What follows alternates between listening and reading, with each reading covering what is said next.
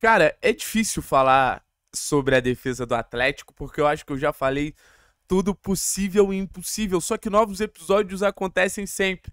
Então, nessa quinta-feira, muita coisa aconteceu. Foi oficializado o, o, acordo do Zé Ivaldo com o Cruzeiro, saiu a, a confirmação da lesão grave do Pedro Henrique, e a gente fica pensando o que, que vai ser da defesa do Atlético, bicho. A gente vai precisar realmente depender do Matheus Felipe. O Kaká ainda nem chegou e já é visto quase como titular, principalmente pela lesão do Pedro Henrique. Então, assim, é, existia uma pressão muito grande para que o Atlético pudesse se reforçar e melhorar a sua defesa, que é, acho que é o grande calcanhar de Aquiles da equipe, velho. Acho que é o grande calcanhar de Aquiles da equipe. E eu falo isso tem algum tempo, desde a época do Turra.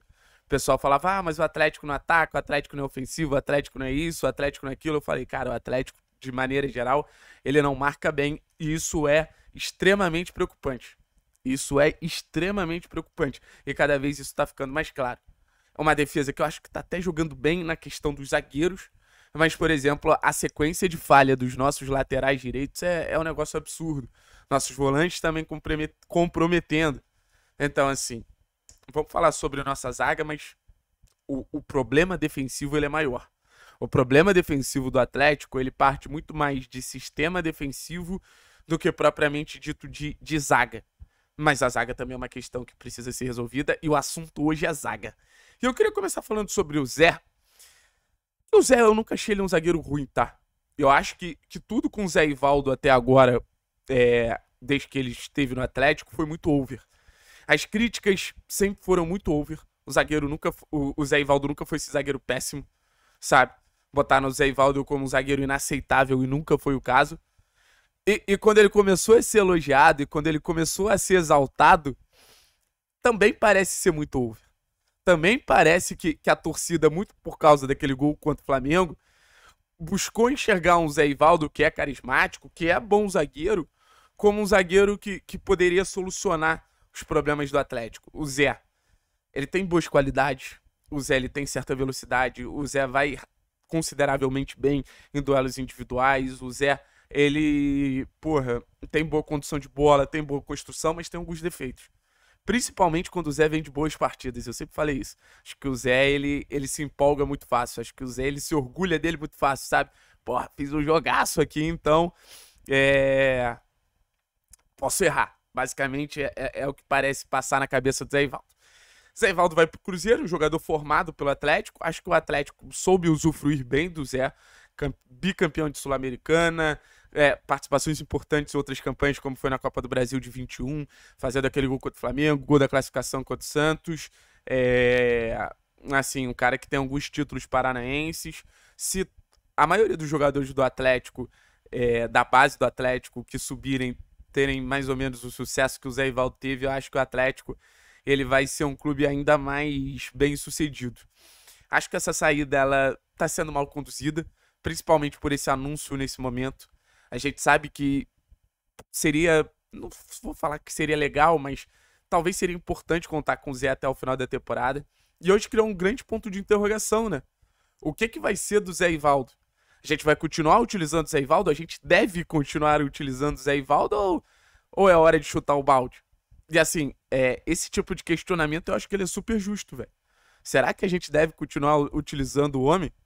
Ou a gente deve, deve cagar e andar? E acho que a gente deve continuar utilizando o homem. Talvez não como titular, mas abrir mão do Zé Ivaldo é fazer tudo que, que ele quer. Assim, e também fazer tudo que o Cruzeiro quer. O Cruzeiro, depois da negociação com o Vitor Roque, ele não é um amigo do Atlético no mercado. Ele não é um clube que ele vai pensar no Atlético, por exemplo, como o Atlético pensou no América nessa situação Vitor Roque.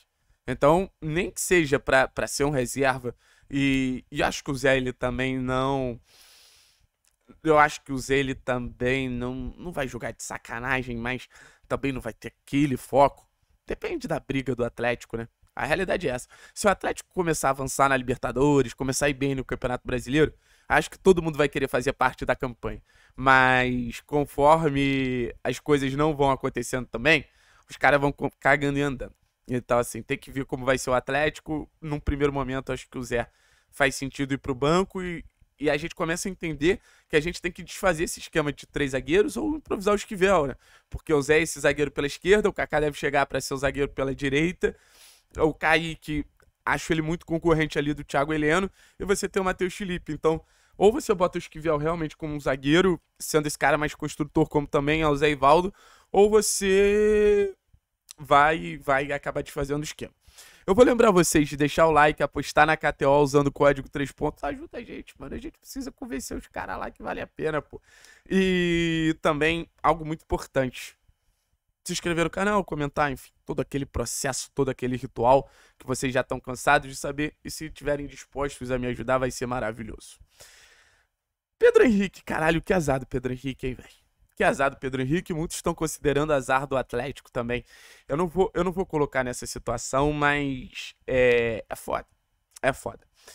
Pedro Henrique tinha um acerto com Braga de Portugal, o empresário dele não me confirmou, Rafael Scheid, maldito, mas tinha um acerto com, com, com Braga de Portugal, era uma negociação basicamente sacramentada. O Pedro Henrique é para um time que disputa a Europa League, para um time considerável em Portugal, ali no cenário do futebol português, mais até do que no, no cenário do futebol europeu, mas querendo ou não, é um clube que está chegando. E, e, no final das contas se machuca, provavelmente vai permanecer no Atlético para esse processo de recuperação. É, não tem muito que o Atlético fazer, o jogador tem contrato, tem que dar esse respaldo é, para o jogador se recuperar. É um azar, uma lesão séria, é, num lance completamente despretensioso, num momento que acho que até o Pedro Henrique ele vinha bem. Pedro Henrique vinha se adaptando bem ao novo modelo do Wesley, nova ao novo modelo de marcação do Atlético. Mas o Pedro Henrique ele é muito mais uma discussão de clima do que uma discussão técnica, né? Porque tecnicamente eu acho que, por exemplo, o Pedro Henrique é até melhor que o Zé Ivaldo, mas eh, a questão é não ter clima. O, a expulsão na final da Libertadores, mesmo eu acreditando até que não foi só culpa dele, é, pesa muito a relação do, do Pedro Henrique com a torcida do Atlético, sabe? Então é um jogador que a saída faria bem para o Pedro, a saída faria bem para a torcida do Atlético, a saída faria bem basicamente para todo mundo.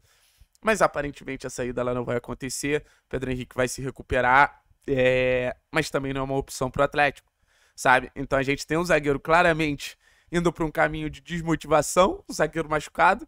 A gente tem um zagueiro chegando, mas assim, se antes eram cinco opções, nesse momento são quatro. Nesse momento são quatro. 4,5, né? Vamos botar o Zé Ivaldo como 4,5. Vamos botar 4, que é meio do Matheus Felipe meio do Zé Ivaldo. E assim, a necessidade de contratar, ela, ela é real. A gente sabe que existe esse, essa questão do zagueiro canhoto. A gente sabe que existe essa questão de, de, de um jogador com mais capacidade de construir, até para substituir o Zé. O Atlético já sabia que não deveria ficar com o Zé Ivaldo. Mercado é difícil, Barbosa não é uma opção. Eu sei que alguém vendo esse vídeo vai pensar, ah, mas e o Barbosa? Barbosa é um zagueiro muito lento, cara. Barbosa é um zagueiro para clube que defende um bloco baixo. O Atlético cada vez mais pretende ter é, sua, suas linhas mais altas, então precisa ter mais jogadores do perfil Kaká que saibam correr para trás, que saibam defender bem em profundidade, que, que, que saibam defender contra atacantes mais, mais móveis, mais rápidos, sabe? Cada vez menos times jogam com centroavante. Ah, Thiago, qual é o nome ideal? Se eu pudesse indicar um nome ideal, cara, eu acho que eu indicaria o Bruno Mendes do Corinthians. Um cara que saiu do Corinthians, foi muito bem no Inter. Acho que tem capacidade boa para ser esse cara mais construtor. Não é canhoto, né? Inclusive, já fez em muitos momentos a lateral direita, mas do mercado brasileiro talvez seja um dos nomes que mais me agrade. Mas independente de quem, é precisa, sabe? A pergunta não é quem vem. A pergunta é a gente precisa muito ou a gente precisa absurdamente muito? O Atlético hoje ele precisa absurdamente muito de zagueiro. O Atlético ele vive uma crise federal na zaga e, e assim, em questão de opções, em questão de qualidade. O Thiago Heleno deve estar tá ficando maluco, irmão. Quem vai jogar ao lado do Thiago Heleno? Difícil, difícil. Mas o Atlético ele tá sendo inteligente no mercado, assim. O Atlético provavelmente vai perder o Citadini, provavelmente não, mas existe alguma chance. Já trouxe o Vidal, perdeu o Terence, trouxe o Zapelli, perdeu o Fernando, trouxe o Esquivel, perdeu o Abner, trouxe o Fernando. Acho que a gente não pode falar muito sobre reposição. O Atlético está conseguindo repor muito bem. Talvez falte se reforçar. E, e, e, repor e se reforçar é uma diferença muito grande. Porque a reposição, você não necessariamente você tá reforçando o grupo, sabe? Pô, perde um Abner chega um Fernando, você não tá reforçando, você tá repondo. a ideia era ter um Abner e ter um Fernando. Por isso que eu falo. O Atlético cada vez mais enxerga como uma necessidade enorme ter ali o, um zagueiro considerável, sabe? Um zagueiro considerável para dominar e, e, reforçar. Reforçar é o termo do, do momento, termo mais importante do momento.